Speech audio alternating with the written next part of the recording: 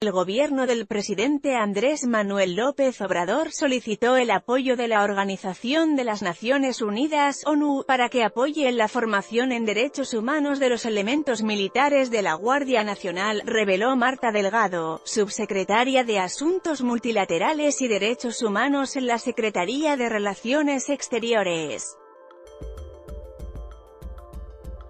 Piden el apoyo de UNESCO por Tren Maya durante la XXX reunión de embajadores y cónsules, la subsecretaria informó que también contactaron a la UNESCO para que acompañe la construcción del Tren Maya, a fin de que se preserve la cultura de los pueblos indígenas. Nosotros queremos traducir esta presencia de las Naciones Unidas en nuestro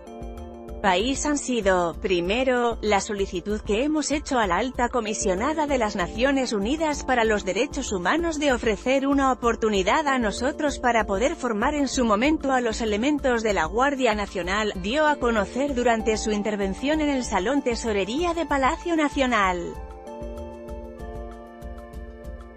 Las amenazas de Trump sobre el muro por otro lado, la subsecretaria consideró que no es necesario que el gobierno mexicano emita un pronunciamiento en contra de las amenazas del presidente de Estados Unidos, Donald Trump, sobre la construcción de un muro en la frontera norte.